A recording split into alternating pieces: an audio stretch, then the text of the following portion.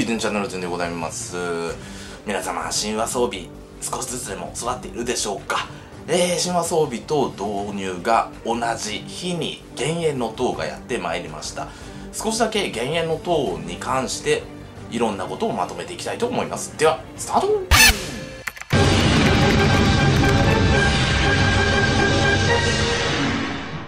はい、ということで本日はこの減塩の塔に関して少し、えー、私がやってみて、えー、いろいろなあの情報をちょっとね提供していきたいと思いますまずですが基本的にこの1回から40回までを早く攻略していかなくてはいけないという点がありますえーと僕が、まあ昨日、おとついですか、リセットかけた時に新しく編成したやり方はこちらになっております。でで孫悟空ワンバック。そして、オルカミリアトドちゃん。これバージョン2の方ね。神話オプション2の方。そして、エルニアもオプション2の方の神話スキルをつけた状態で編成しております。で、ペットはベアになっております。基本的にはもう、オルカと孫悟空のスキル、もう全部回していくそんな形を取ればほぼほぼもう40までいけると思いますはいえー、火力重視で押し切る。で中には貫通固定が効いてくる。でねバフをね結構張ってるところもあるんでその辺がねちょっとね厄介したら厄介なところもあるんですがまあその辺はエルニアで初手はあの打ち込んでいく。上のスキルでね。バフ減4ターン分を打ち込んでいくとか。で状態以上になった時にミリアを使って、えー、即死を外してみたりとかっていうやり方していくと相手に筆撃が5000発動するんでそれも美味しいということなのでまあこの面々は結構強いかなと思われます。はい。そして攻略の次ですね。えー、こちら皆さんね採掘と呼ばれるところが出てきます。えっとね初日にこの減塩の塔が始まった時にはもちろんですがこの1日の発掘量っていうのが15だった気がするんですよね。で今この画面を見てくださっている通りこのキャラクターたちリー・アラゴンバリスタシルビアエルニアの上の方にこのツルハシで3つ以上とかっていうそういう画面が出てなかったはず。確かね。うん。キャラクターを入れ込むことによって発掘量っていうのが10になったりとか15になったり。していたような記憶が残ってるんですよ。さあそこであのー、皆さん。うーわマジか。俺こんなところで神話エルニア使っちゃってんのか。もったいないことしてるね。これはちょっとねダメなんです。2回からか。2回4回っていうのは1日の発掘量じゃなくて獲得量100なんですよ。でリセットを1回するためにクールタイム時間があります。それが14日間。2週間の猶予が与えられてると。つまり1日の発掘量が大体17になります。覚醒キャラを全部5人置いた場合。一般キャラのレベル50までのキャラクターを押すと大体3つになりますね。えー、これを5体並べると17覚醒戦士だと。まあ大体やっているベテラン方の方々だったら全部覚醒戦士が埋まるぐらいの、えー、採掘場所だとは思うんですけどこれが100の場合だったら毎日15、10日で150ですね。もうそうなったらクリアしてしまう。で、6回もこれ150ぐらいだった気がするんですよ。150。で、8回もう150。これ、10回ぐらいからかな。ちょっとわかんないのがね、180とかかな。で、14回ぐらいに来るとおそらくこれ200ぐらいだと思うんですよ。200。この辺からでしょうね、難しいのは。ただ、2週間。えっ、ー、と、1日、えー、17で10日間ですと170個。で、残り、えー、4日間。4日間だと7、7、68。つまり、238か。238個取れることができる。一応。足りませんよね、2週間だと。で、基本的に、あのー、言っておきますと、リセットは14日来たら即リセット。うん。これやってみて分かったんですけど、結果的に下の方、この14回以下のものが取れない。となると、どんどんどんどんリセットしていく方がいい。そうしていかないと、14回以下のものがもらえない。結構多いですよね5箇所6246箇所ですね6箇所で1箇所が17としたら102個100個は損していくっていうパターンとなると確実に2週間経ったらすぐリセットするっていうのがやり方。でここもねちょっと難しいところがリセットのタイミング。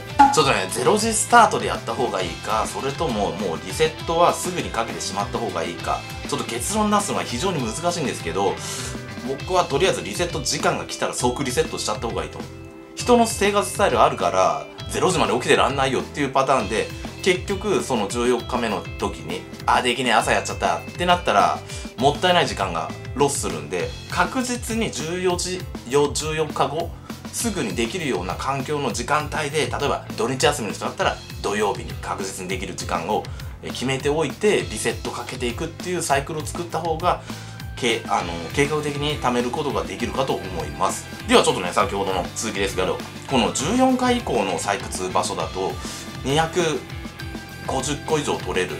ただ1回の発掘量が17という記載が出ている。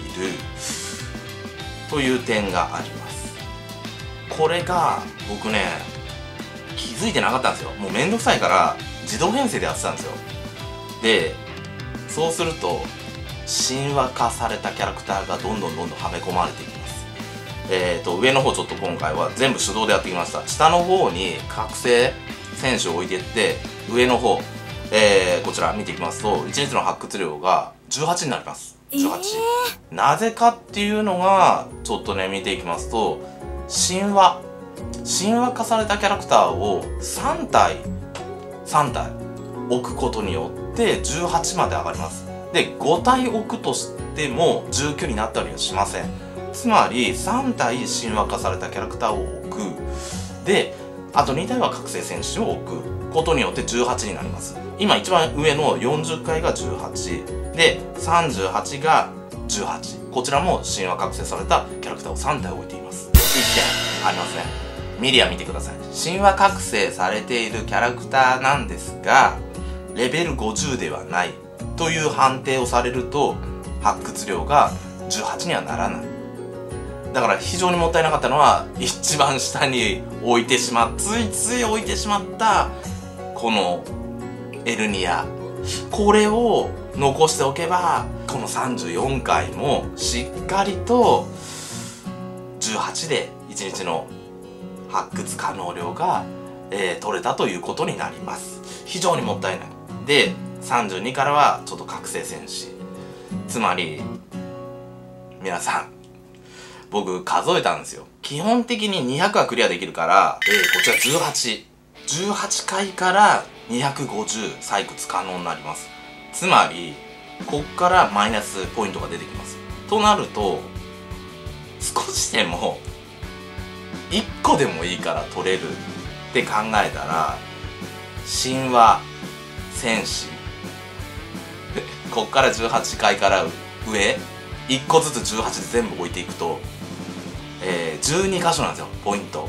だ神話覚醒されたキャラクターが36人欲しい。36 人いるとえっ、ー、とつまり今私が採掘できているのと12個増えます。まああの上の方3回ぐらいは一応神話覚醒キャラを置けたから1個になるとしてだからあと1日で9個ぐらいかな増やすことができるという感じになっておりますで、えー、神話ダンジョン途中で見ていきますと今この神話キャラクター一体何人いるか。2、4、ロのハノと12、14、15人なんですねちょうど。15人見てみて3体持ちしたら45人。でもゲリデュスやミリアっていうのはやっぱり貴重キャラ今の現状だと。まあ余分にゲットできるっていう確率は低いんでこれはちょっと難しいと。でもよくよく考えてみたらこれご突しなきゃいけねえのか。そうなんですよ。あの実は僕トドちゃんをその2体目作ってみようかなと思ってレベル40の状況で神話覚醒して入れ込んだんですけどあのダメでしたね。3にならなかった。2のあ4にならなかった。3の状態でしたね。採掘可能量。となると無理だろ俺の言ってる理論まあべらぼうに難しいよね。例えば出る確率として高いのはまあ孫悟空何体か持てるかもしれない。でオルカやセザールはそんなに持てない。となるとクリスより先アランアイリーンエルニアターラのはだからここで見ていくと一般キャラであるセインとかえー、エルニアとかは何体も作っておけば あのー、少しでもあの石をゲットできるという形になります。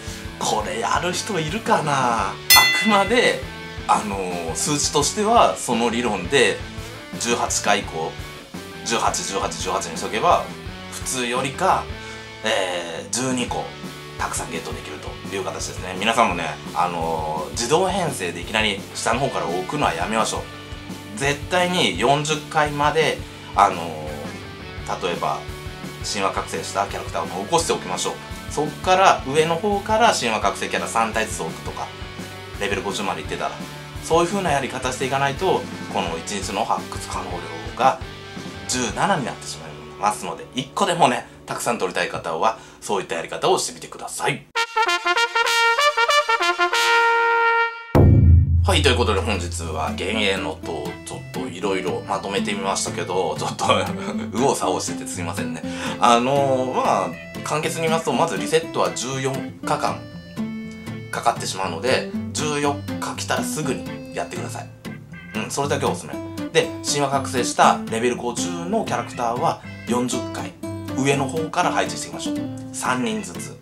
3人ずつ入ってあと覚醒キャラ配置していく。ような形でやっていきましょう。であのー、このゲーム等ですけどおすすめアタッカー枠は孫悟空はもうバチコンハマってました。えー、オルカと孫悟空この2体でスキル回していけばかなりの戦いができます。でやっぱエルニアっていうのはねいいキャラですな。うん。彼は非常に使えます。なのでエルニアを使ってください。あとの2人枠はもしかしたらリナとかも回復キャラ入れてもいいんじゃないかななんてちょっと思います。あとは固定ダメージ持ってる孫悟空がもうかなりね活躍できますんで、えー、ぜひともちょっとせっかくねごくまだ作ってないよという方は幻影の塔キャラとして使ってみるのもおすすめしたいと思います。はいということで本日はここまでしたいと思います。もしよかったらグッチョブチャンネル登録していってください。では皆さんバイバイ。ありがとうございました。